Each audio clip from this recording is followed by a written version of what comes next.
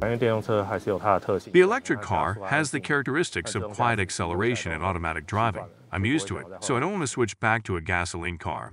An increasing number of Taiwanese drivers are choosing electric cars. In 2023, the streets saw 25,000 electric vehicles, reflecting a 53% increase from the previous year. On the global stage, however, the story changes. Research from International Auto Market Analysis shows a slowdown in global electric vehicle sales.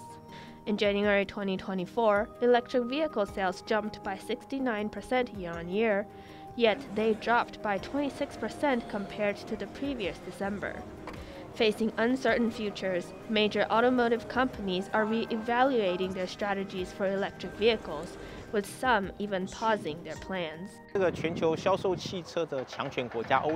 As for Germany, a European powerhouse that sells cars globally, they realize that in 2024, China's electric vehicle manufacturing capacity and low cost will be their great opponent, and that their advantage is still the traditional gasoline engine. If they give up that, it would be difficult to compete head to head with China.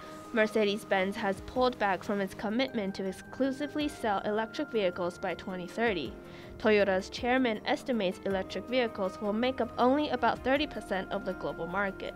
Also, Porsche's CFO has indicated that the EU might postpone its plan to ban fuel burning cars by 2035.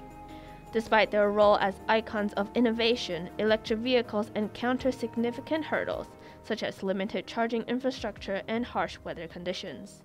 Addressing these issues is essential for continued growth in electric vehicle sales. 谢一轮钟德荣、Jamie Lin Pinzon, TVBS World Taiwan.